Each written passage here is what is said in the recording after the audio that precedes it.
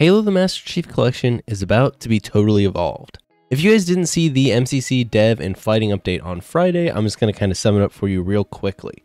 As early as this Thursday, we might be getting flights for the custom game browser, which is a feature that players have been asking for for a really long time. This, along with mod support, are probably the two big main features I feel like that the player base has really been asking for. However, one slight bummer is that it is going to be Halo Reach only at first, rather than having all the games, which definitely would have been preferred. Regardless though, this will be pretty cool because it's going to allow us to play custom games with people a lot easier than having to round up a group of friends or get on Discord servers, etc. You'll be able to just go into the game, pull up the custom game browser, and search for different custom games that you want to play, kind of just like it works in Halo 5.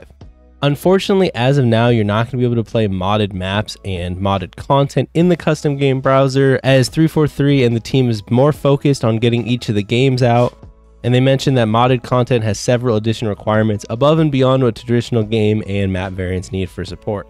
But yeah, nothing too special in this video. I just wanted to point out that the custom game browser is hopefully finally coming. And this is going to be huge as it's one of the big things that MCC has needed. So Hopefully it comes out this week, hopefully it works, and hopefully it's really fun.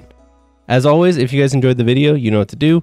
Follow me over on Twitch, I stream there. Follow me over on Twitter, I tweet there, and I'll see you all next time.